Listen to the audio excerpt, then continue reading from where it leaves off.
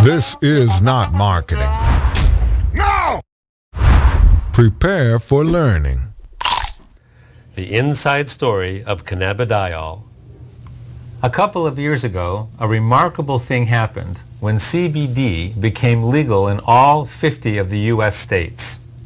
If you remove CBD from the THC coming from the cannabis plant or the hemp plant, CBD is now legal to use as a nutritional supplement. Since that time, of course, the market has exploded with interest. And this conversation today is about the physiological effects of CBD on the human body. Truly, CBD is not just another nutritional supplement. This short conversation is going to accurately describe the intense scientific research that's going on around the world, but in simple language so that everyone understands of why CBD is so important for human physiology. In order to comprehend the significance of CBD to our health, we first have to ask the simple question, what exactly is our health? Is it just the absence of disease? If you don't have symptoms, you must be healthy? Well, it's actually far more important question and a deeper question than just that. How does human physiology actually work? How is it designed? In general, every aspect of human physiology is based on the balance between polar opposites, between the yin and the yang. This creates homeostasis. When we look at specific parts of our physiology, like the immune system, the yin and the yang, the opposites would be anti-inflammation and inflammation, the negative and the positive. When those two things are in balance, your immune system is functioning properly. If we're talking about our nervous system, then we're talking about the forces of excitation and the forces of inhibition or relaxation. When we're talking about our endocrine system or our hormone system, we have the forces of breaking down tissue or the catabolic hormones, and we have the anabolic hormones which build up tissue.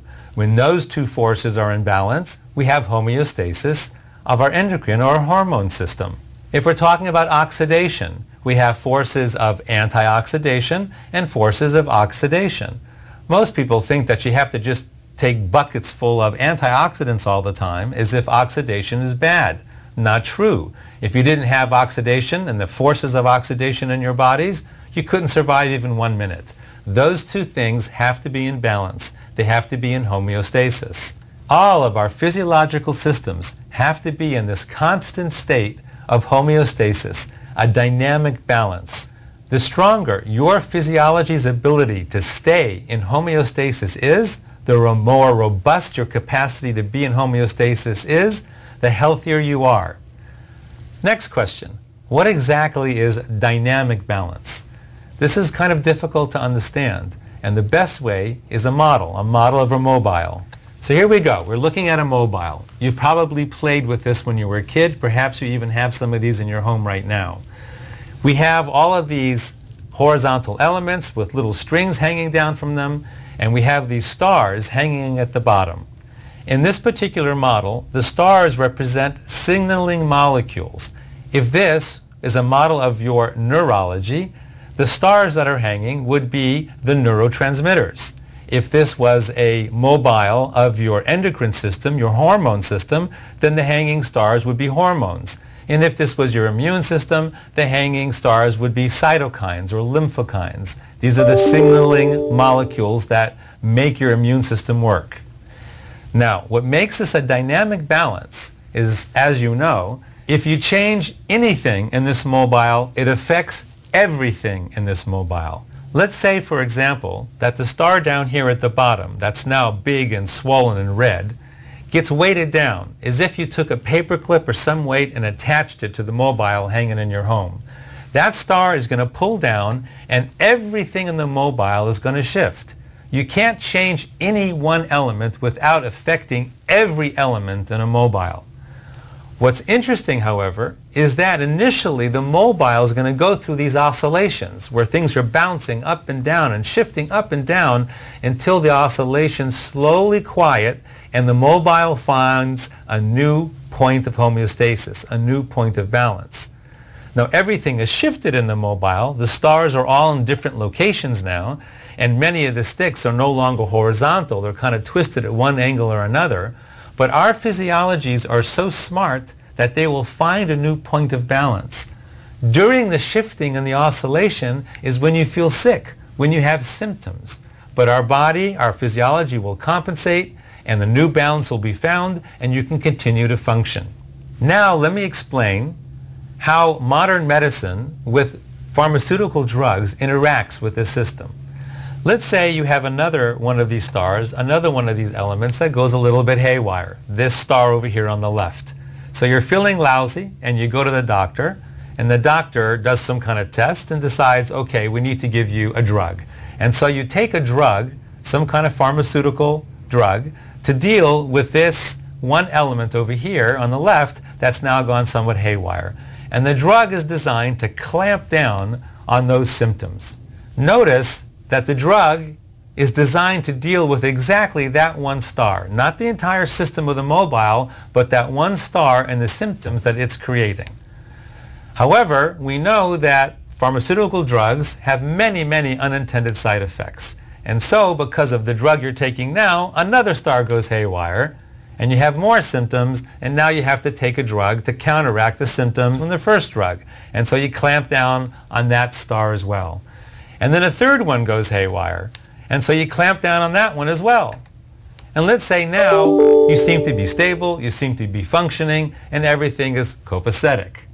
Well, is it really? Everything seems to be stable here because the mobile isn't shifting anymore, but let's take a closer look at your system. This is what's actually happening. You now have all sorts of artificial weights attached to your physiology, to your mobile. You can see that your physiology is under a lot of stress. The weight of all these different drugs and these overexpressed stars are pulling down heavily on this mobile, and you can see that some of those bars are now bent because they're under so much tension. One more little thing going wrong with your physiology Perhaps it's something as simple as a cold or a little virus or some kind of drug interaction that you didn't anticipate and now something breaks. This system is under so much tension and so much stress that the oscillations would be huge and you might find yourself in the ICU under life support.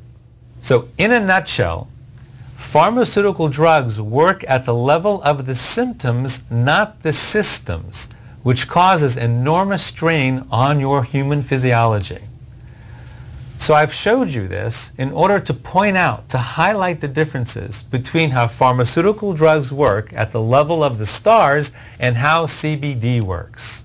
CBD, instead of working at the level of the stars, works at the level of the system of balance, at the nexus of balance. That would be in these crystalline green orbs where the where the string attaches to the stick. That's where the system knows if it's in balance or out of balance. It can't tell what's happening at the level of the star, but it knows what's happening right there in that green crystalline orb where balance is maintained and established. So in the model that we are using, the mobile, to highlight how our physiology works, that's where CBD works. Now, in our actual physiology, where does CBD work? Let's take a closer look. Here we go. We're going to travel into our physiology, right into our central nervous system. And we're going to see at the level of individual cells that the cell surface is covered with these green receptors. These are receptors for CBD. And when the CBD binds to that receptor, it sends a message into the cell which travels all the way down into the nucleus of the cell where the intelligence of our entire physiology is contained within our chromosomes. So here a chromosome is going to unwind and you're going to see the actual DNA that contains the codes for everything that our body does. This is like the software that runs our physiology. Genes are the codes for every protein that our bodies make including all the signaling molecules that run our physiology, such as our neurotransmitters that run our nervous system, our hormones that run our endocrine system, and our cytokines that run our immune system. So imagine, for instance, that these are cells in your pancreas making insulin. This is happening in a million cells, let's say, all producing huge amounts of insulin to keep your blood sugars in proper balance. Again, your insulin is a hormone, which is a protein. So we see that throughout our physiology, we have receptors specifically designed to bind with CBD, and CBD has its effect on the nucleus of our cells where proteins are being made. So which proteins are being made from the influence of CBD? CBD modulates the transcriptions of over 1,100 genes that make the signaling molecules that naturally reduce inflammation in our central nervous system and throughout our immune system, restoring homeostasis to both our immune and to our central nervous systems. So as you can see on the left side of the slide, CBD upregulates the genes that create anti-inflammatory biochemicals for our, our, immune system and upregulates the GABA system in our central nervous system, which brings calmness to our central nervous system. And on the right side of the slide, we can see that CBD downregulates the genes that create the inflammatory biochemicals in our immune system and also downregulates the glutamate system in our central nervous system, which causes overexcitation. So now, let's go back to the model of our physiology and see how CBD affects it. We go back to our one star that's out of whack, and now we introduce CBD, and voila, we see a cascade going through all the points of balance in our system and the mobile comes back to homeostasis to its original, stable, beautiful balance. Now our physiological systems are far more complex than the simple mobile that I've been showing you here with only 12 stars.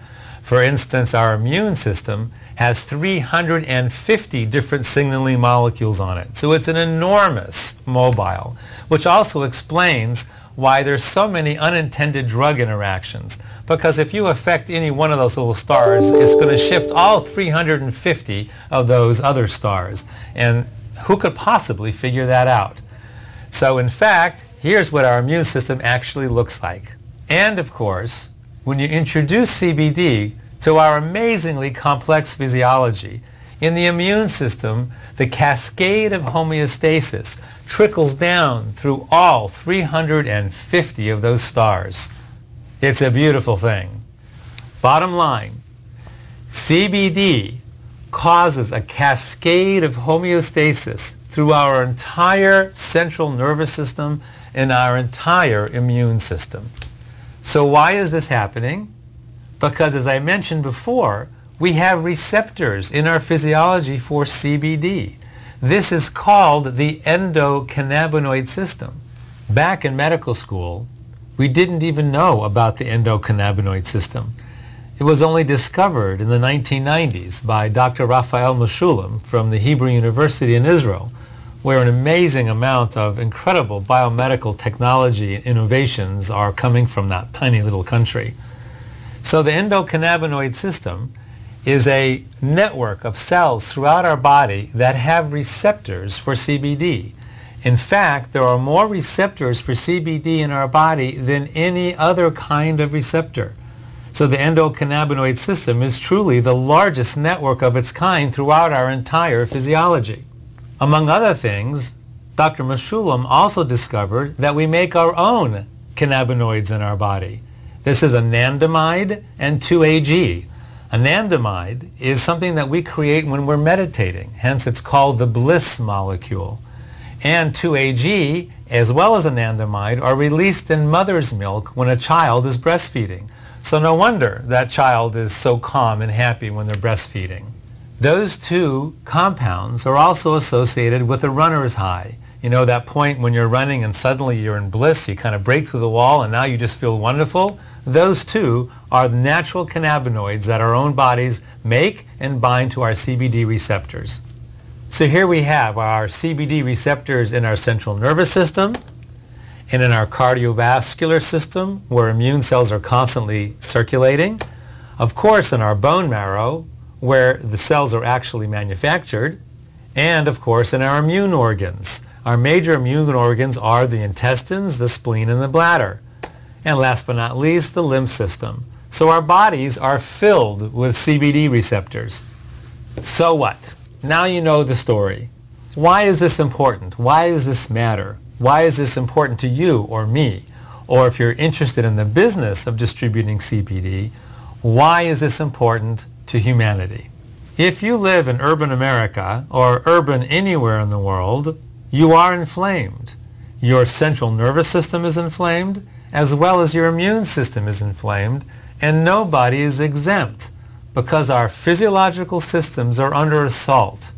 Assault from environmental toxins such as herbicides, insecticides, and heavy metals, chronic biological infections such as bacteria, viruses, fungus, and molds, and last but not least, our inflammatory diets, which are very poor, usually way too much sugar, which causes leaky gut, an inflamed gut that allows certain bacterial infestations to occur that gets into our blood, into our systems.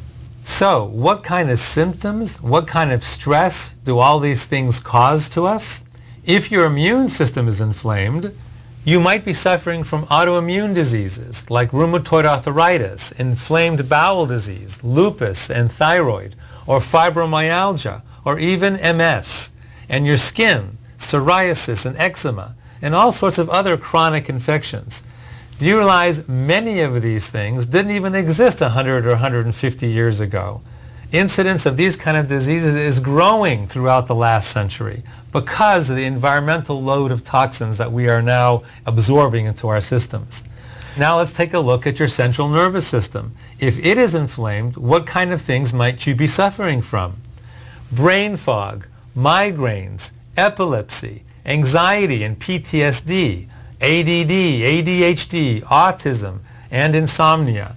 Again, 100 or 150 years ago, these kind of symptoms, these kind of diseases were really rare. And over the last 150 years, because of the insult, the ongoing insult to our systems, these kind of things are more and more prevalent with every single year. So, if you are suffering from any of these conditions, any of these symptoms, CBD might provide you with tremendous healing, tremendous relief, right through your own natural endocannabinoid system that brings homeostasis, both to your immune system and to your central nervous system. So in conclusion, what have we learned from this conversation? That health is achieved through physiological homeostasis, right through our natural endocannabinoid systems. And therefore, CBD is an indispensable catalyst for optimal health. For those of you who might